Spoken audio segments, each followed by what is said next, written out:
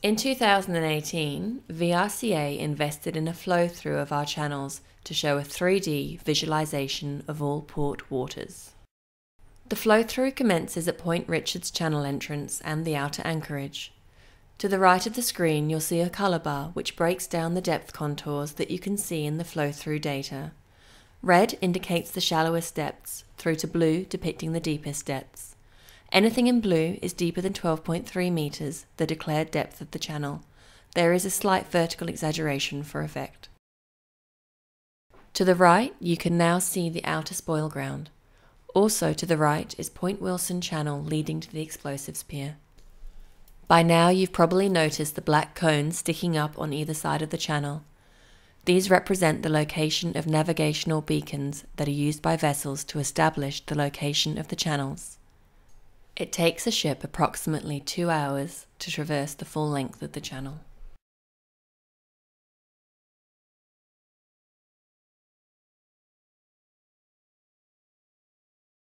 We are now approaching the turn, and this is also the end of Point Richards Channel.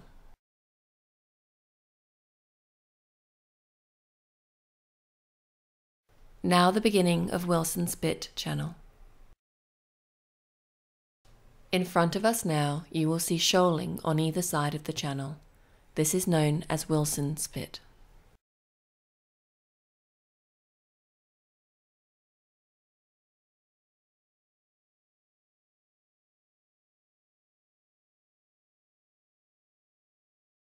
We're approaching the end of Wilson Spit Channel and the start of Hopetoun Channel. To the left, you will see Point Henry Channel to Point Henry Pier.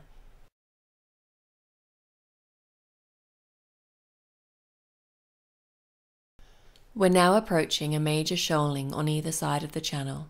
This is known as the cut. To the right of our current location is the eastern anchorage, and on the horizon to the left is Geelong City.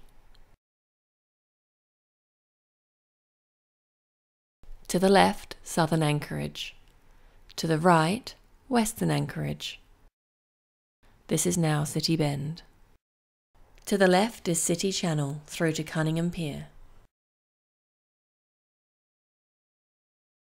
To the left, bulk grain piers at the beginning of Corio Channel, followed by the entrance to Corio Quay on the left.